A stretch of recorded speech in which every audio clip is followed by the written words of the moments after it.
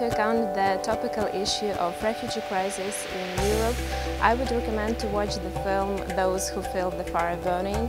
It's a story told by the spirit of the dead refugee. He tells about his fears, his feelings, his hopes. The viewer can experience this way to Europe through the eyes of the main hero, so that you can really feel yourself in this boat.